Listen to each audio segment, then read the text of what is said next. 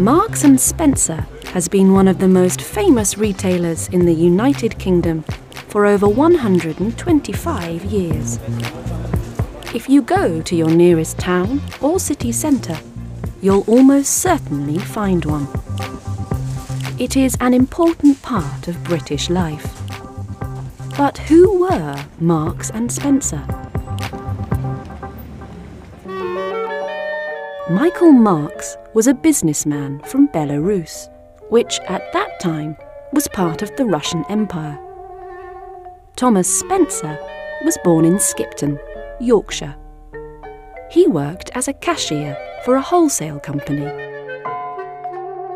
They were both very ambitious, but at the time they were unlikely business partners. Michael Marks immigrated to England in 1882 and moved to Leeds. He wanted to start a business, so he met Isaac Dewhurst, a wholesaler operating from this warehouse, which is still called the Dewhurst Building today. Marks borrowed £5 from Dewhurst and established a stall here at Kirkgate Market. It wasn't easy. Marks worked long hours and was on his feet all day serving customers. But his stall quickly became popular, and he opened several penny bazaars, a shop where everything cost a penny. His business was growing rapidly, and he soon needed a partner. He asked Isaac Dewhurst. He said no but he recommended his senior cashier instead, Tom Spencer.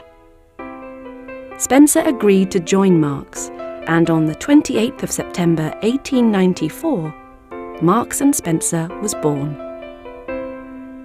The partnership was an instant success, and throughout the 20th century, the business continued to grow.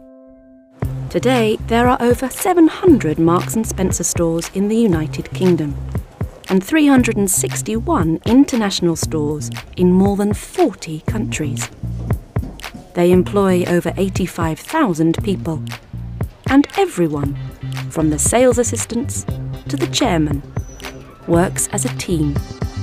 The Marks and Spencer Group has an annual revenue of over 10 billion pounds, and over the next few years, the company is going to expand in other countries.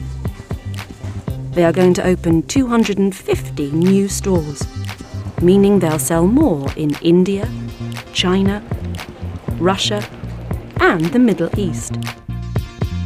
They are also going to expand their online shopping business, so they'll soon sell everything through their website too. And they won't stop there. After over 120 years, they will continue to build on one of the biggest brands in British business.